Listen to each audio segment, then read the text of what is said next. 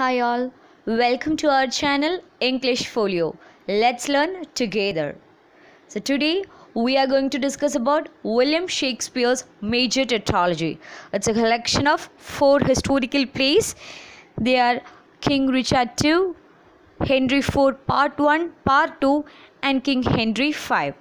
Before moving on to the video, if you have not yet subscribed our channel, please do subscribe and hit the bell icon so that you won't miss our latest updates. So, let's start. First major play of this tetralogy is King Richard II. It's considered to be written in 1595 and its full title is The Life and Death of King Richard II. Major source for all these historical plays is Edward Hall's The Union of the Two Illustrious Families of Lancaster and York. Major characters of this play are King Richard II, John of Gaunt, who was the uncle and Duke of Lancaster, then Duke of York, Thomas Mowbray, who is the Duke of Norfolk, Queen Anne Bohemia, Duchess of York. Then there is a rebel group which includes Henry, Earl of Northumberland, Lord Ross, Lord Fitzwater. Then there is a group of allies which includes Duke of Surrey, Earl of Salisbury, Lord Berkeley, Bushy, Bigot, Green, and so on. Now let's discuss about its plot. The play spans last two years of Richard's life from 1398 to 1400. First act begins with King Richard sitting majestically in his throne and arbitrating a dispute between Thomas Mowbray and Richard's cousin Henry Bolingbroke, who later becomes King Henry IV, over an issue of squandering money and murder of Duke of Gloucester. After failing several attempts, Richard opted for a trial by battle method to settle the dispute. But before the tournament, both are banished. Mowbray is permanently banished and Henry is banished for six years. So this was the first major mistake committed by the king in a series of mistakes eventually leading for his death. So this was an abrupt arbitrary decision which increased the suspicion of king's involvement in the death of Duke of Gloucester. Meanwhile, his uncle John of Gaunt dies and all his wealth, money and land is seized by Richard which belonged to Henry who was the son of John of Gaunt. King Richard used all the public money to fund wars and he started to tax the commoners he also fined nobles for the crimes committed by their ancestors. So these all created unrest among the nobles as well as commoners. They all turned against the king. And nobility helped Prince Henry to secretly return and overthrow King Richard. While Richard left London to attend war in Ireland, Henry invades north coast of England. He claims the land and throne and he crowns himself as the next king of England. When Richard comes back after the war, he is taken as a prisoner to the castle of Pomfret and he is killed there at the castle. The play ends with a pledge taken by King Henry to undertake a journey to Jerusalem to cleanse himself of his part in King Richard's death. So this is all about the plot of the play. Now discussing about the major chords, we have this royal throne of kings this sceptred isle, this earth of majesty, the seat of Mars. This is by John of Gaunt, Act 2, Scene 1. Another chorus, the ripest fruit first falls. This is from King Richard, Act 2, Scene 1. Not all the water in the rough root sea can wash the bam from an anointed king. King Richard, Act 3, Scene 2. Forget forgive, conclude, and be agreed. Our doctors say this is no time to bleed. A quote from Henry in the final act is I'll make a voyage to the Holy Land to wash this blood off from my guilty hand. So these are the major points to be noted from the play King Richard II. Moving on to the second play in the tetralogy, it is Henry IV Part 1. It depicts the span of history that begins with Hotspur's battle at Homildon and ends with the defeat of the rebels at Shrewsbury. Its full title is The History of King Henry IV with the battle at Shrewsbury, between the king and Henry Percy. Major characters in the play are King Henry IV, then his son Prince Hal, who later becomes King Henry V, Ralph Neville, Sir Walter Blount, Sir John Falstaff, he's a major character who is also making his appearance in the next play too. He's an old knight. Then Ned Poins, Bardolph, Peto, Francis Osler and rebels group which is headed by Henry Percy. As the play begins, King Henry IV wanted to leave for the Crusades, but he is having some troubles with the borders of Scotland and Wales, as well as he has got staunch opposition from Edmund Mortimer, who is Richard's chosen heir. But what threatens him more is his son, Henry V. He forsaken the royal court and he wastes his time in taverns with low companies, especially with John Falstaff. He's a drunkard, old, fat, corrupt man, but a kind of charisma attracts Falstaff to Henry V. The rebel group and Henry's group is meeting at Battle of Shrewsbury.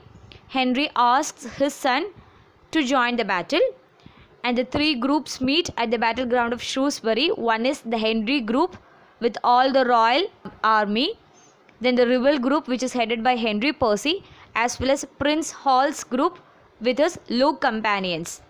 These low companions are under the able commandship of John Falstaff. Prince Hal vows to his father to fight and Falstaff is entrusted with the soldiers and at the battle he kills Hotspur and they win the fight but it was only a temporary win because Archbishop of York joined with the Duke of Northumberland and he posed a real threat in the coming days.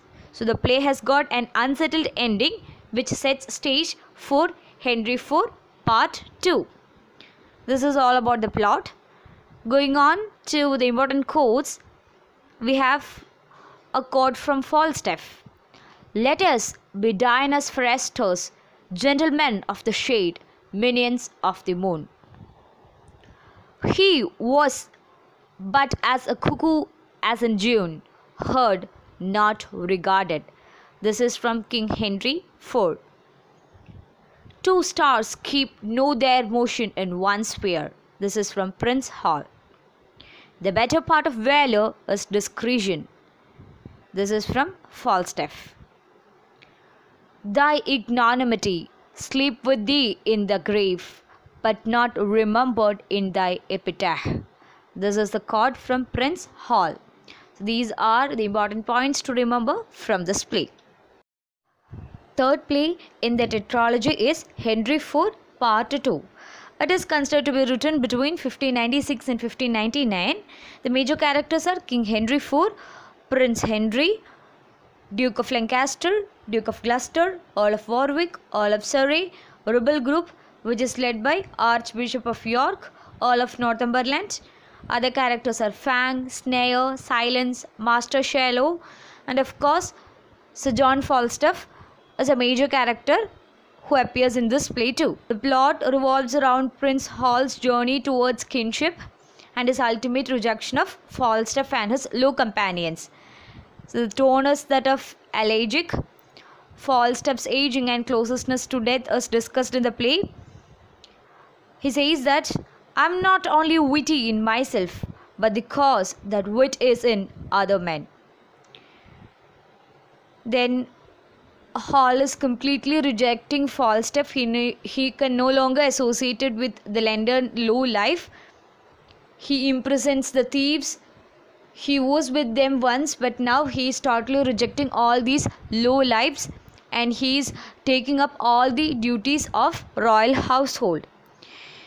The play ends with an epilogue which gives us a clue that next play is also awaiting in this tetralogy that is mature Henry V and his courtship with Queen Catherine of France.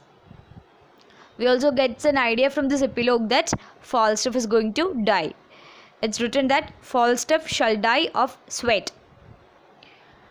So that's all about this play. Discussing about major quotes, we have a quote, O sleep, O gentle sleep, nature's soft nurse. How have I frightened thee, that thou no more will weigh my eyelids down, and sleep my senses in forgetfulness. So these are the major points to remember in this play. Now let's move on to the other play in this tetralogy. Final play of this major tetralogy is King Henry V. Its full title is The Chronicle History of Henry V with this battle fought against Agincourt. It's considered to be written in 1599 and this play chronicles the events before and after the Battle of Agincourt which is an episode in Hundred Years' War. It starts with a prologue. This prologue is all about Elizabethan stage. That it's a criticism against Elizabethan stage that it lacked scenery. So the chorus asks the audience to use their imagination to overcome the limitations of the stage. The chorus says that, Oh, for a muse of fire that would ascend the brightest heaven of invention. So the chorus asks the audience to use their imagination to view the play in its full effect. The play is divided into five acts. The first act deals with king and his decision to invade France. He is a rightful heir to the French throne, but when he makes advances for this, French Dauphin insults him with a gift of tennis balls. The second act, we can see this act is a dedication to the war. In this, it is told that now all the youth of England are on fire. They sell their pasture enough to buy the horse. So this quote shows how each and every young men of England is getting themselves ready for the war. Each plot begins with a chorus and there is also a subplot of Earl of Cambridge to assassinate Henry at Southampton. In the Act 3, Henry makes advances with his troops to the French port of Harfleur. There, he motivates and encourages his men to fight for a national cause. Act 4 is the Battle of Agincourt. So there is St. Crispin's Day speech in this act. There he motivates his troop men by saying that we few, we happy few, we band of brothers, for he today that sheds his blood with me shall be my brother. So armed with long bows, the England won the war. In Act 5, it's several years after the war. So the English and French, they are having constant negotiations and they are arriving at peace treaties. So there is Treaty of Troyes with which they are arriving at peace.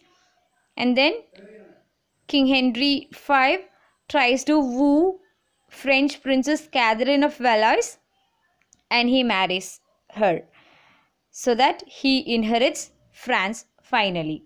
So this is how the play goes. Major chords all things are ready if our mind be so. Other chorus men of few words are the best men. Another one is self love, my leash, is not so vile a sin as self neglecting. So, these are the major points to note in the play King Henry V. So, that's all about the video. Thanks for watching. And if you like this video, please do share and subscribe and be always with us because let's learn together. Thank you.